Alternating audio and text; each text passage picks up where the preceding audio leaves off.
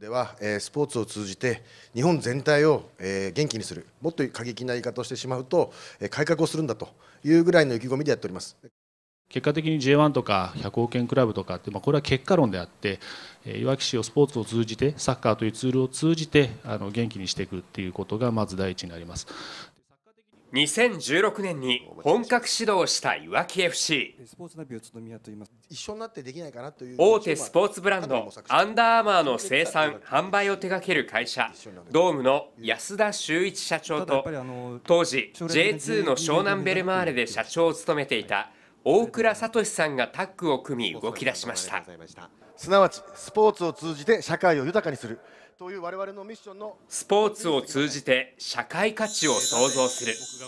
大倉代表はいわき FC の事業構想発表会の壇上で力強くこうスピーチしました。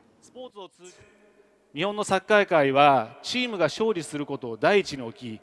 目先の勝利が全てとなっています。点を取られたくないからゴール前を固めてボールを奪いに行かないんですそのようなサッカーで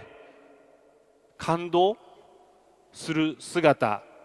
生まれると思いますでしょうか？若い選手がピッチでガンガンと走り躍動する勝ち負けではなくてお客様に感動勇気希望といった無形のサービスを提供することがサッカーの本質ではないかと思います。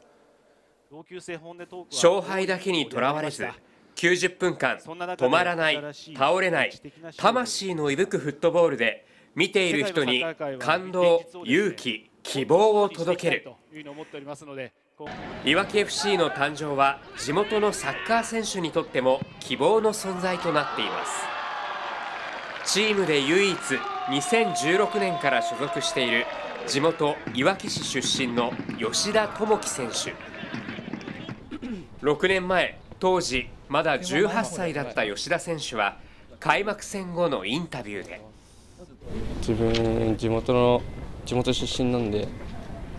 まあ、まだ復興が完全にしたわけではないので、まあ、そういうサッカーを通していわきを活性化していけられたらいいなって思います。それから6年が経った今年1月。まあ、僕が子どもの頃はまあ、地元いわきに J リーグ J リーグのクラブができると思ってなかったので子どもたちにまあ希望を与えていければなっていうのと、まあ、全国にいわきを広めるチャンスだと思うんで、えー、しっかり結果を出していわきを全国に広めていきたいと思います。そして去年からサポーターがチームに向けてホームタウン旧市町村の地名とともにある横断幕を掲げました。浜を照らす光であれ。で光っていう言葉がすごく抽象的でありあの非常にあの刺さる言葉だなと思っていて。だけどサッカーとか僕らの社会価値を創造するという活動の中で何かそういう存在として僕らを見てくれる、えー、それによって何かこう希望が湧いてくるみたいなね。そんな光になれたらいいでしょうね。スポーツの力で地域の希望の光となる存在に。その思いは6年経った今も揺るぎない信念として変わっていません「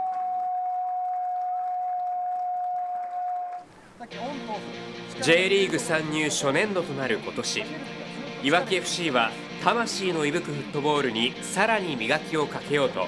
大熊町出身で元プロの陸上選手秋元慎吾さんをスプリントコーチとして迎えました、まあ、僕は本当に自信を持って今の仕事をしてますし選手全員の足速くするために覚悟を持って僕も来たんであの選手と同じ気持ちであの勝負させていただこうと思ってます。秋元さんが指導してきたのは須賀川市出身で陸上日本代表の相澤晃選手や元日本代表 J1 ヴィッセル神戸の牧野智明選手など名だたる選手たちばかりです。中でも牧野選手は秋元さんの指導について、えー、まず第一に一番大きく変わったのは1年間タフに戦えるそして90分間あーハードに戦えるコンディションを手に入れたっていうところはあると思います、えーまあ、苦しい時間帯の時の攻撃から守備に切り替わるそのスイッチの瞬間だったり、まあ、すごく僕にとっては、まあ、日本代表でもそうですしワールドカップでそうでもそうですけどもそういうところにも生かされてたあトレーニングだったかなというふうに思います。さらに今年からチームの指揮を託されたのが菅博正新監督です。その前に前に行くあのどんなことあっても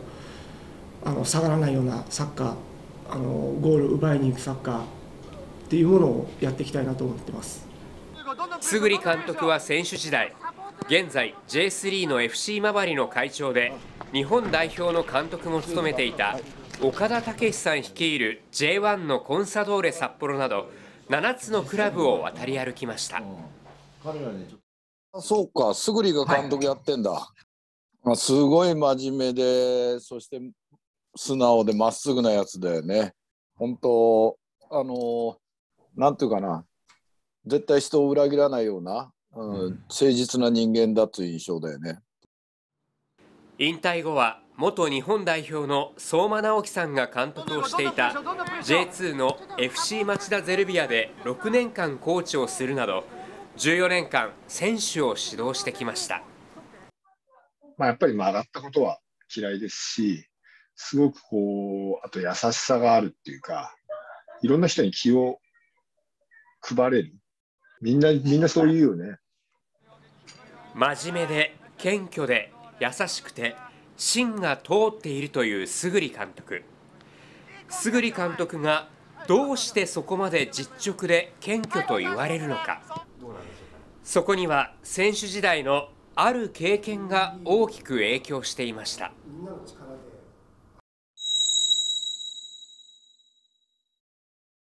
選手の時にはいや俺はもっとできるよとかそこでやっぱ謙虚さがない自分もいたんですよ。そこであのクビになって初めてあの仕事がなくなってそれでもサッカー続けたいって言った時にやっぱり本当にサッカーへの感謝だとか周りの人たちの感謝っていうのが本当に大きくなったので、まあ、それですねはい。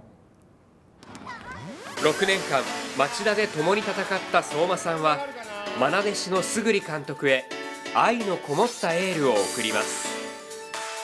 僕にはやっぱそういう苦しい時にグリがいた。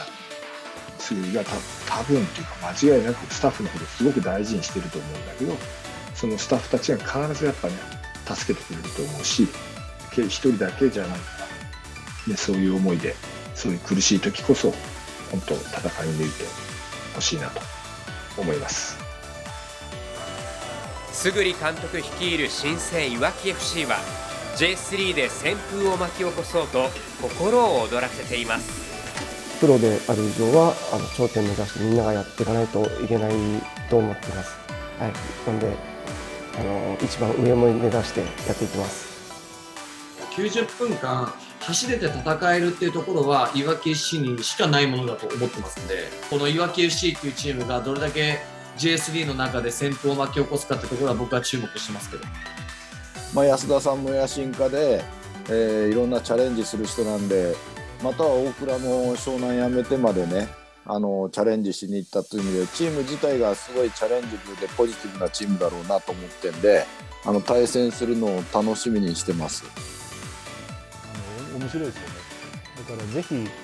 なんかね多分ね今年の UFC 強いと思うよ、